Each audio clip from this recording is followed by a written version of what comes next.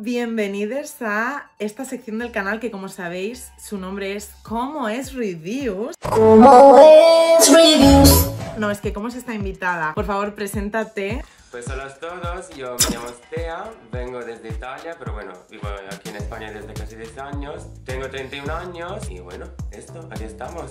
Es que como sabéis, el reto de hoy es un bol y qué mejor que un poco de sentido de la moda italiano para comentarlo, ¿verdad? Claro, Neno, nosotros los creadores de la moda, por eso estamos. Pues el episodio empieza con que como sabíamos se había ido, eh, ¿te acuerdas quién era? Taya Betty. Y Orion Story. Normal que no te acuerdes porque es un poco irrelevante, así que no te preocupes.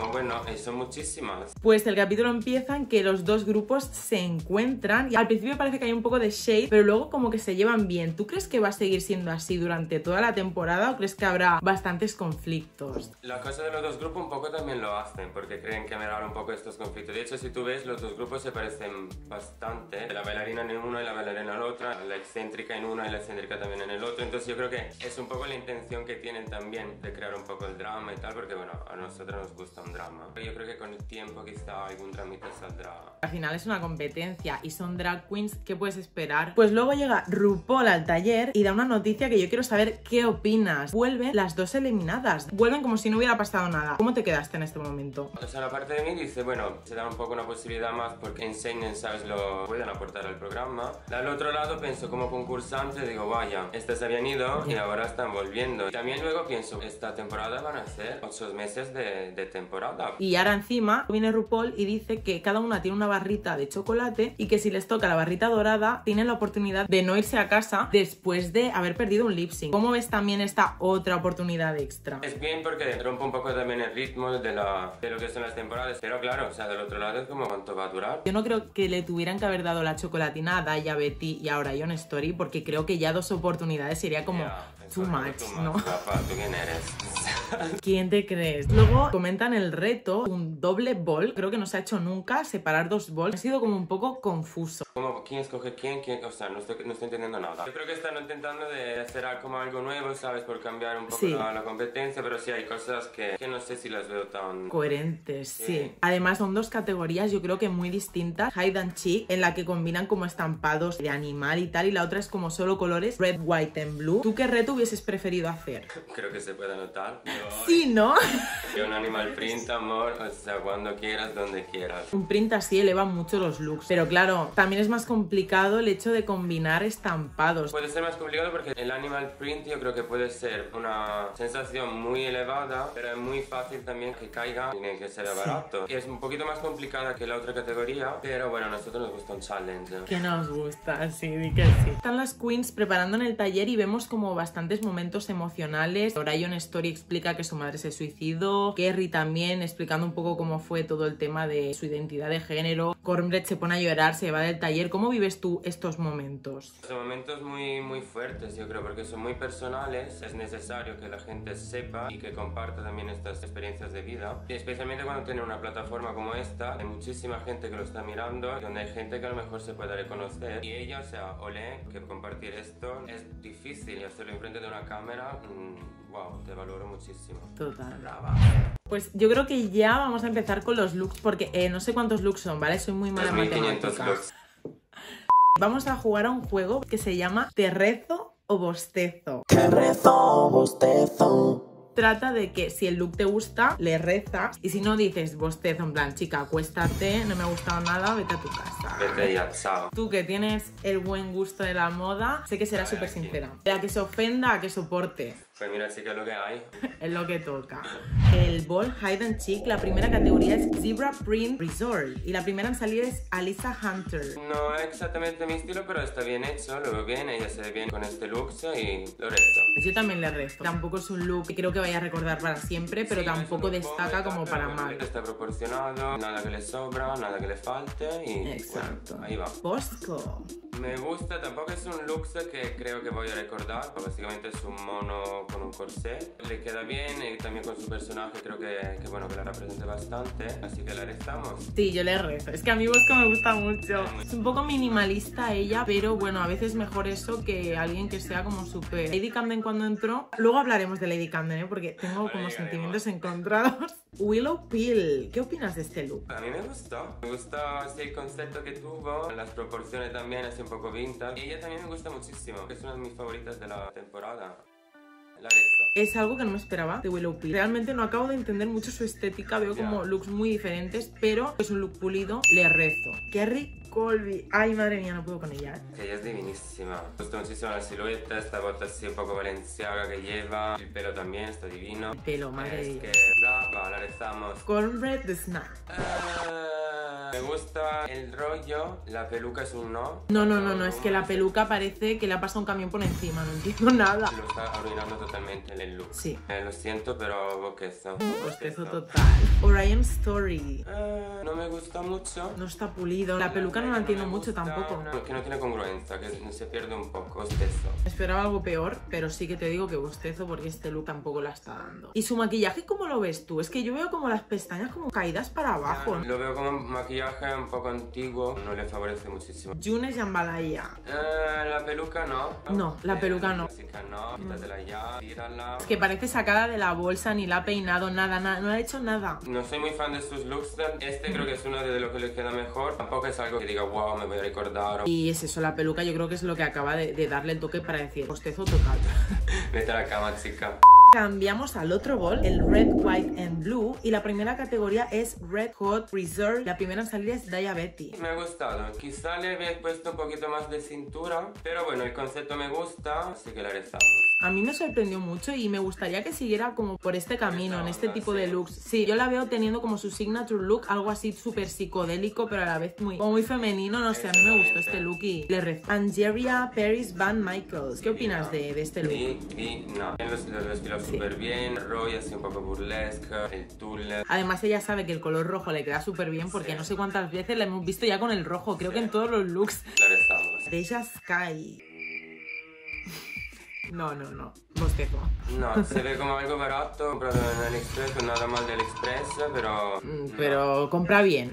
no, no, además, la parte de arriba yo no sé si estaba intentando hacer como un Nude Illusion. Si es Nude Illusion será con, en todo caso, el tapa ojeras que se ha puesto. Que el color no le, no le pega nada con la base. Ahora tenemos a Jasmine Kennedy. Me gusta el concepto, lo veo un poco barato por las, las telas. La peluca la veo un poquito como que la he utilizado ya unas cuantas veces. Mm, bostezo.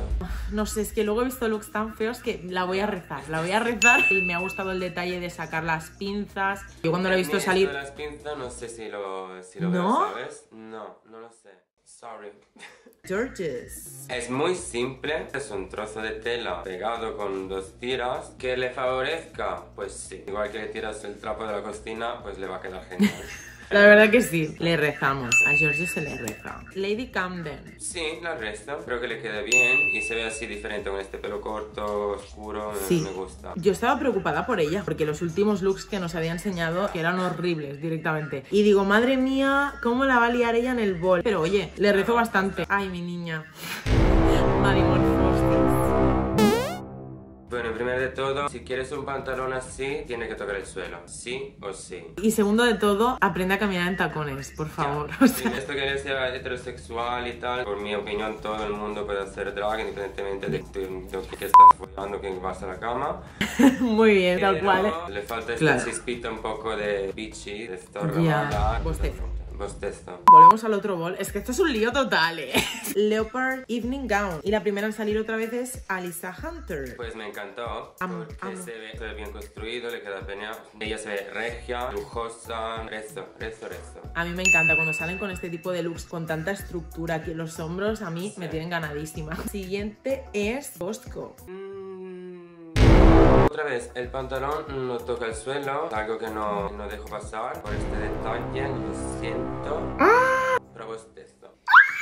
¡Real! Digo. Soy muy fan de ella, me gusta mucho su estilo y tal, pero son detalles. No, no puedes. Y lo siento, pero bostezo. Ah, ya. ¿Ves? Por eso quería que vinieses aquí, porque es que tú tienes estos detalles que yo no. Yo la veo salir y digo, madre mía, quiero ser ella. Tenemos a Willow Peel. Es un poco una representación de una pieza icónica, pero se ve como muy barata. Es que a mí no me gusta, no entendí el hype por este look. Se lo veo como muy barato, muy un disfraz de carnaval, bostezo. Kerry Colby, ay Dios mío. Me encanta, me gusta la silueta, el tocadito este que se da la vuelta, me gusta el color, el resto. Yo creo que este color le favorece muchísimo a ella. ¿eh? El maquillaje y todo, me encantan los zapatos, todo. De arriba abajo le rezo. Cornbread Snack. Me gusta más este pelo. El vestido, es un vestido negro, tiene un trozo aquí de animal print. Hmm. Bostezo. Después de decir todo eso, bostezo. Orion Story. Esto también se ve un poco disfraz, un poco carnaval. Sí, le dijeron que estaba muy cargado. No me gusta mucho, lo siento mucho, pero bostezo. El maquillaje fatal. ¿Ves? Es que yo estaba esperando a que alguien dijera lo del maquillaje porque pensaba que era yo sola. Es terrible, o sea, no hay ningún humano. No, Cari. Somos la June Jambalaya, tropezándose con todo el vestido, por Dios. Que ella va mucho así de que es estilista, de moda. Eh, sí. Hasta ahora no ha llevado nada que me gustara. Demasiada tela, no lo sabes llevar, te estás tropezando cada rato. Pasamos al siguiente ball y la categoría es Evening Gown Down. La primera en salir es Daya Betty. ¿Qué es esto? Lo veo muy plano. Es una reproducción de Lady Gaga mal hecha. No me gusta. No, Bostezo. no, la forma no está. Bostezo. Angeria. Le queda bien, es guay. Me pondría o me voy a acor- a acordar. No. Es eso, objetivamente le rezo, pero subjetivamente creo que si sacas este tipo de looks pageant, creo que deberían como reinventarse un poco. Ya son 14 temporadas y yo qué quieres que te diga. Deja Sky. Le queda bien, pero tampoco es algo que diga wow, un bostezo. Yo creo que de los tres looks que saca, este es el mejor. Pero estar en un drag race, cuando es un ball, la gente es donde te ve. O sea, es el momento de sacar los looks mejores. Sin más. Jasmine Kennedy. No me gustó nada. Lo veo muy vestidito que puedo encontrar en AliExpress. Otra vez nada de mal de AliExpress. No me gusta la proporción, no me gustan las piedras, no me gusta el color. Un drag visto 500 mil veces. Yo creo que ella además con el maquillaje se envejece. Sí, se ve mucho más mayor de lo que es. No, pues para casa. ¿Cómo es Georges? No, está divinísima, preciosísima. Le rezamos. Luego está Lady Camden con este look así, no sé cómo describirlo. No, no entiendo, la espiral está muy cargado, le quitaría quizás mitad de las cosas, aún no, no me gustaría como look, pues eso. Eh, estoy como un poco condicionada con el hecho de que no tenía ninguna expectativa para ella en este reto. Voy a ser hoy estricta como tú y le voy a dar un bostezo. Me siento súper mala hoy, me encanta. Bueno, sí que alguien se lo tendrá que decir, La siguiente es Marimorphosis. pues no me gusta, eso. No le entiendo como qué tipo de drag tiene, quién es ella. ¿Quién eres, chica? A mí me parece como cuando sacan las carrozas de los Reyes Magos, que hay gente como por los lados bailando así. Totalmente. Cambiamos de bol otra vez. Wedding Gown Eleganza, que recordamos que tienen que utilizar los estampados estos. Tienen que combinarlos. ¿Cómo ves a Lisa Hunter en esta categoría? No está mal, es una silueta ya vista muchas veces, por haberlo hecho ella allí, se ve bien hecho, lo resto. Bosco. Es muy similar al primero que sacó y me gusta la silueta que se hace ella con su cuerpo, esta cara que tiene. La peluca me encanta. Ay, Dios, la amo. Que la amo. De rezo. Willow Peel. Se ve bridal, o sea, me sorprendió porque también ella, como explica durante el episodio, que tiene estos problemas, ¿sabes? Con las manos Sí. y sacó lo que está sacando ahora, me gusta mucho. Tiene su mérito, sí, sí, sí. Este look me, me llamó mucho la atención porque estoy viendo algo que no he visto antes. Me gustaría que siguiera también por este camino. Lo veo con una estética que podría definirla a ella. Le rezamos. Carrie Colby. Eh, no sé, una tela... Amarrada por ahí. No le queda mal, siento, pero esta vez. La da un bostezo a Kerry Colby. Digo. La siguiente en salir a la pasarela es Cornbread. Madre de Dios, ¿qué es esto? Eh, mira, mm, quizá la peluca, quizás. Vamos mejorando con las pelucas. Pero el, el look... eh, Ay, que no hay por dónde cogerlo, que no, que no. Es que ni el buquet que lleva en las manos, es que, que no entiendo nada. Estaba mal hecho también. El look ya está mal, pero es que poniéndole esa cola triangular, encima ni toca el suelo. Como una cola de, de lagartija por ahí colgando. Quiero una cola, 4 metros de cola. Go big or go home. Ya está. La siguiente es Orion Story. Es... Sea, quizá la silueta y la intención pudiera funcionar. La falda le faltan un par de centímetros, yo creo, porque si quiere darle estas siluetas así vintage, tiene que llegar debajo de la rodilla. Le puso unos brillos así en el pecho y tampoco me gustaron. porque- No, pues esto. Yo lo que no entendí sobre todo es el lazo que lleva detrás, que no viene a cuento. Ay, es que me voy a caer. La Yune Shambhalaya. No puedo. Es estilista y me montas esto. También, claro, ella lista, teniéndose las flores a todo el rato. Sí, se tapa. Lo hizo más evidente todavía. No, no, bostezo. Vamos ahora con la siguiente categoría. Red, White and Blue Bridal Couture. Talla Betty. Se ve bien, le queda bien, le hace una buena silueta. No es uno de mis favoritos. La siguiente en salir es Angeria. Creo que esta vez tengo que bostezar. No me gustaron las mangas, las piedras pegadas en el vestido. El vestido lo veo muy... Es un vestido largo, rojo. Muy cargado y mucho brillo. Que nos encanta el brillo, pero a veces hay que saber decir basta. Luego en salir a la pasarela tenemos a Deja Sky. Está bien cosido. Un poco demasiadas cosas, quizá. Sí, yo creo que es cuestión de gusto, ¿eh? También esto es verdad. Como aquí estamos hablando de mi gusto, pues no me gusta. Claro, tú puedes saber coser, pero tu gusto personal, eso no se puede aprender, yo creo. Luego tenemos a Jasmine Kennedy. No me vuelve loca. Está bien hecho. La estamos. A mí sí que me gusta. Un poco me ayuda que tengan que ir de rojo, azul y blanco. Es como Ya, bueno, pues. Georges. Eh, no A mí este look no me gusta, ¿eh? No lo veo novia para nada. Eh, Total.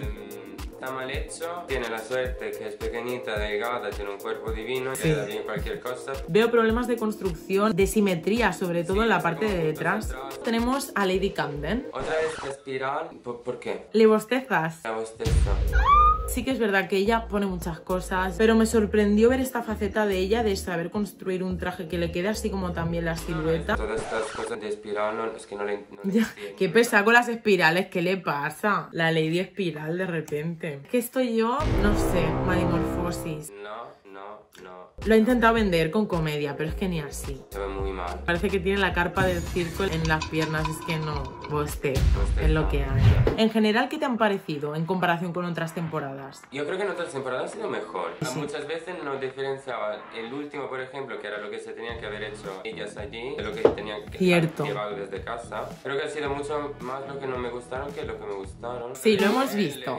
Esperemos que den más personalidad que looks, al menos, para que compense. La ganadora de este reto es Willow Pill. ¿Te sorprende? ¿Estás de acuerdo con esto? Pues estoy de acuerdo porque el primer look me gustó, el segundo no, el tercero me gustó. Así que sí comparto. A mí me sorprendió, ¿eh? tengo que decirlo. Quizá ahora sí que comentando contigo he visto detalles que me han chocado de algunos looks que digo, vale, quizá no estaba tan bien. Y luego en el bottom acaban siendo June y Maddie. Finalmente acaban haciendo lip sync a la canción I Love It de Kylie Minogue. ¿Cómo es este momento? Porque yo decía, lo siento, pero Maddie no sabe dar un show. Pero luego June, vale, bailas mucho, pero Cari, es como mi madre cuando entra al cuarto, recoge la habitación. Encima ya cuando se quitan los zapatos, no, Dilo. se quedan con su como... Muy bien. cuadro. Al final, RuPaul decide que debe ser la que se vaya, June, y abre la chocolatina y wow, sorpresa, Cari, te vas a tu casa, no tienes la chocolatina dorada. ¿Lo ves justo Sí, entonces? lo veo justo. Aquí se acaba el capítulo y me gustaría saber quiénes son tus favoritas. Como personalidad, Bosco y Willow. ¿Quién crees que podría irse en el siguiente capítulo? Así haciendo una quiniela. No me acuerdo cómo se llama. ¿Orion Story? Esta.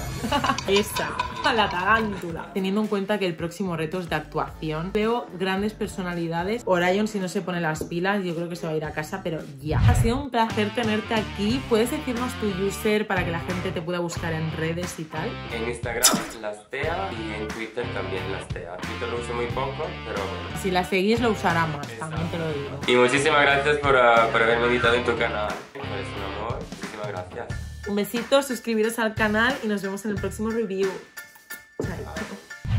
Un segundo, ¿eh? Conecto el cargador un momento. Esto lo corto. Cámaras, cortar. No ha pasado nada. ¡Ah! Ahora sí que ha pasado. Se me ha desmontado el chiringuito. No, no, Espera, espera.